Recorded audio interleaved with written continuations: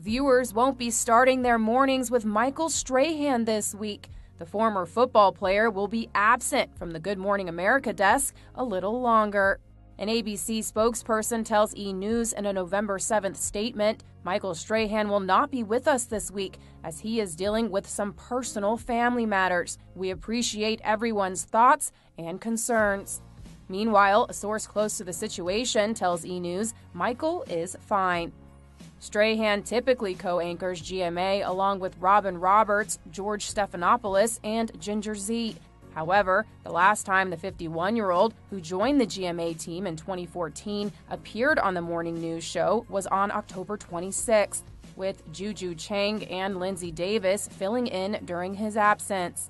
In addition to GMA, the former New York Giants player has been away from his football analyst duties. Strahan was not on air during the November 5th broadcast of Fox NFL Sunday, with his co host Curt Menefee telling viewers Michael Strahan isn't with us this week, dealing with a personal family matter. Strahan, who stars on the show along with Menefee, Terry Bradshaw, Howie Long, Jimmy Johnson, and Jay Glazer, was also not part of the October 29th broadcast, with Menefee simply telling fans Michael has the day off.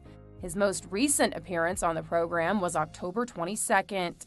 And finally, when it comes to social media, the 51 year old has been rather quiet last posting to X, formerly known as Twitter, and Instagram to promote the game show he hosts, the $100,000 Pyramid, on October 25th. My Wi Fi password is literally Tony Stark. You just told millions of people your password. Well, let's hope no one hears my neighbor.